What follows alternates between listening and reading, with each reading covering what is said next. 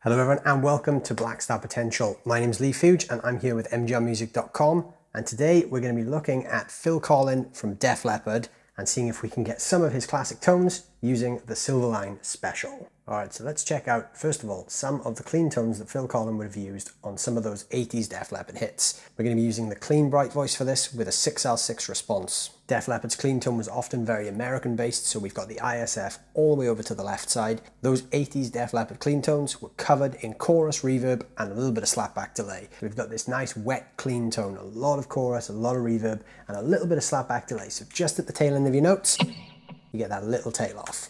For this tone, I've got the bass set to 12 o'clock, the middle and the treble set to 1 o'clock, the resonance set to 11 o'clock, and the presence set to 1 o'clock too.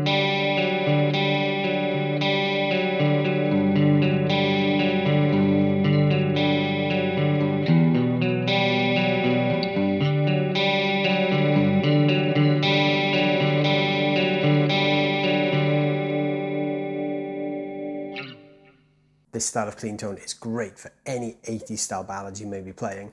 This tone was used all the way through Def Leppard's career, even on tracks like Bringing on the Heartbreak before Phil joined the band, there was a similar vibe with the clean tones.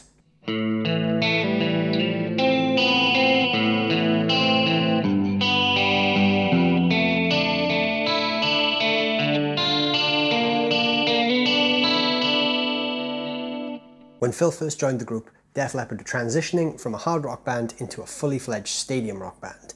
So in the first album that Phil played on, the Pyromania album, there was a lot of really heavy crunch guitars, but they hadn't quite hit their fully saturated 80s sound yet. So here's the tone you hear on tracks like Photograph.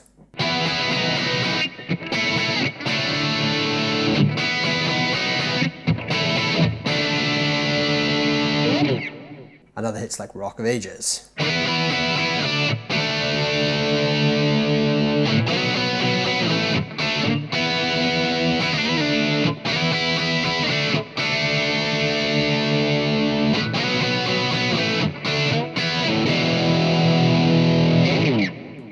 This tone, you want to set your Silverline on the Super Crunch voice and use the KT88 response to get that big, high headroom British rock sound. Once we switch it to the Super Crunch channel, we can set the drive to 11 o'clock. To make sure we've got that mid-focused British sound, the ISF is all the way in the right position, the bass is set to 11 o'clock, the mid is set to 11 o'clock, and the treble is set to 1 o'clock. We've also got the resonance set to 12 o'clock, and the presence set to 3 o'clock to get a nice, big, bright rock sound. We're still using a lot of reverb and chorus here, so we've got the plate reverb setting. We've got the chorus turned down just a little bit from the clean tone, so we don't want it swimming in chorus, but we want a nice modulated rock sound. And we've also got a little bit of slap delay just to thicken it up at the end. And the final one of Phil Collen's tones we're going to look at in this video is his more saturated rock sound that he would have been using around about the time the Hysteria album came out. So tracks like Pour Some Sugar on Me.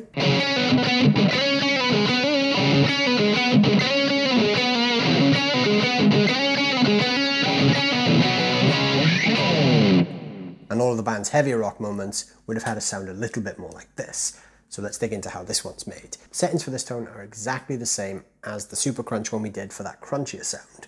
The only difference is now we've switched to the OD1 channel. The gain is still at 11 o'clock. All the EQ settings are exactly the same. And we're still using the KT88 sound and all the modulation, delay, and reverb is still the same. The only difference here is we're using the OD1 channel now, so we've got a little bit more gain and it's a little fatter sounding, so it really captures that fat rock sound that Phil would have been using at this point in the band's career. When you're emulating Phil Collen's tone, you really want to use a super strat style guitar with humbuckers much like this one, especially high output humbuckers. Phil would often play with a metal pick, and he's also known for using 13 and 14 gauge strings tuned to E flat. Alright, so there we have it. There is a little rundown on how to get close to the tone of Phil Collen from Def Leppard using the Silverline Special. If you're using the same amp to recreate Phil's tone at home, you may find it quite useful to turn the resonance up a little bit just to simulate the amp being a bit bigger. Now, Phil Collen's tone would have been created using a very large amp. We're doing this with a 10 inch speaker at a very low volume.